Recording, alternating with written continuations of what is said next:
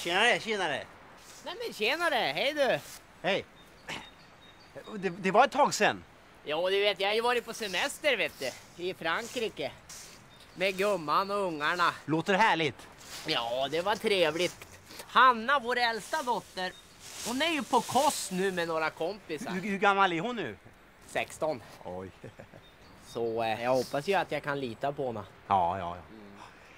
Ja, nej, våra, våra ungar har haft väldiga problem med att få kontakt med andra barn här i området. Jaha, varför då? Nej, vi är nazister vet du. Åh fan, Ja.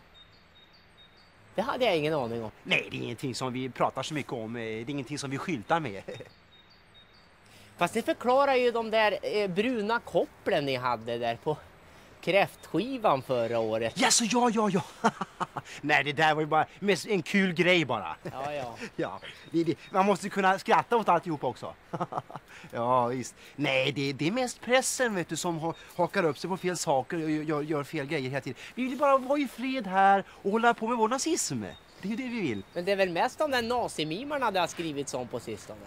Nej, det, det, det där är inga riktiga nazister. Så. Det är det inte. Nej, nej, nej, nej, nej, nej. De har bara ha- tagit upp några gamla attiraljer och gjort någon jävla cirkus av det där. Så det, det har ingenting med riktig nazism att göra det där. Inte alls. Nej, pop, pop, pop, pop, pop. nu ska vi ta och sätta igång glöden här lite grann. Ja, så det ska grillas? Ska grillas ikväll ja!